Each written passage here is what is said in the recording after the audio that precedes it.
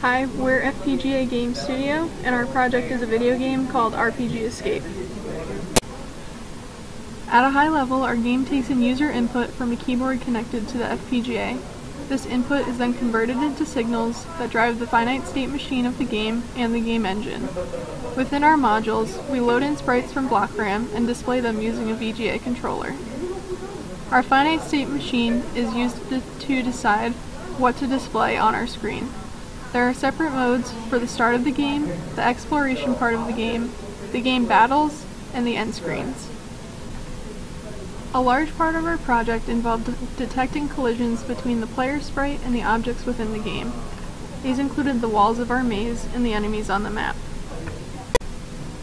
Here you can see example Verilog code for how we detected a collision between the player sprite and the enemy sprite. We had to create a separate collision detection module to detect when the player sprite interacted with the walls of our maze. Our game's maze was generated using a 20 by 15 matrix of ones and zeros, where ones represented a wall and zeros represented an area that the player could walk on. To detect collisions between the player and the maze wall, we determined which block of the maze the player would be in based on their current location and their directional input. If they were going to enter a wall block, then the player movement was halted. Otherwise, they could continue walking. This is a picture of the layout of our maze, where the blue squares represent walls, and the red squares represent enemy locations on the map. Here is what our maze looks like when we use the sprites loaded in from Block. This is a sample of the Verilog code we use to detect a collision between the player sprite we are the FPGA Game Studio, and we have, have started up a game called RPG Escape, where your character needs to escape from a maze and defeat thugs in order to do so.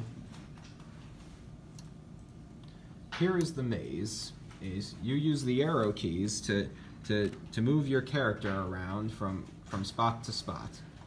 Once if you collide into a wall, your enemy the player cannot go beyond them. Next, when you collide with an enemy, a battle starts. So, as you can see with the battle screen, there's the HP of the enemy and the player, with the enemy's HP on the top and the player's on the bottom. And over here, on the left is the player's baseball bat and sword power points, and on the right is the enemy's. The enemy is controlled by a second player. So, for example, if you press it, if you press J for punch, and you can you can reduce the HP of the player by 10. If you press punch for for the player, you can reduce it for the enemy. Eh, then if you press W for the sword for the player, it reduces it by 40.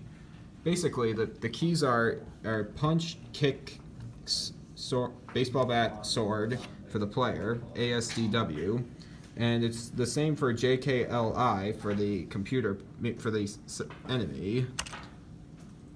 Sometimes a move can miss though, and the stronger it is, the more likely it is to miss. And for and for when a move misses, it's the power points are still deducted anyway.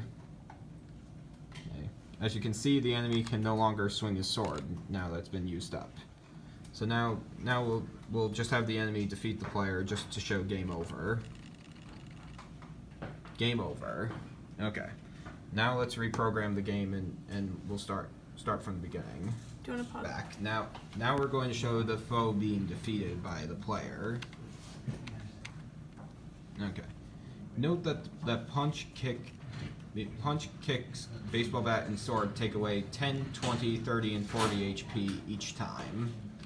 And for, for every subsequent battle, the enemy's HP goes up by 10, except for the last battle, which is where both the player and the enemy have 190 HP. And then if you want to like stop it here. Oh. Attack! Here it goes. 190, 190. Hmm.